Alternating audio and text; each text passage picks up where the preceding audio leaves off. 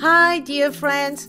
Today we are going to visit the Arab bath of Ronda in the province of Malaga. The baths are located in the lower part of the city and outside of the city wall and just beside the Asian main entrance to the village.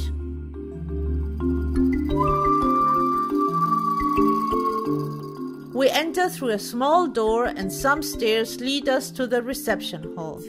The baths were built partly underground to control the inner temperature of the rooms. The reception hall had a central fountain surrounded by arches. This was a place to talk, to relax, and a changing room. The first area is the cold room, covered by a velvet ceiling decorated with star shaped skylights and two pools on each side where people used to relax. In the Arabic culture, the public baths are places for personal hygiene, for the religious ritual, and for socializing. Normally, the mornings were for the men and the afternoons were reserved for the women.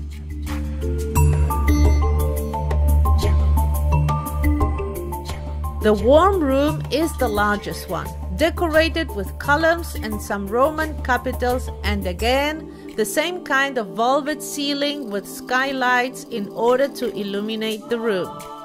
In this place, the people used to stay most of the time.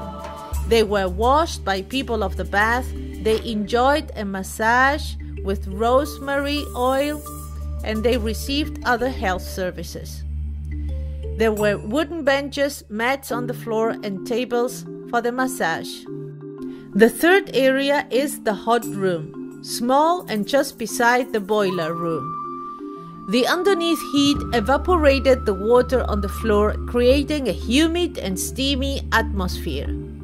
Nowadays, you can see a video explaining the bath and the water supply as well as the heating system of the bath.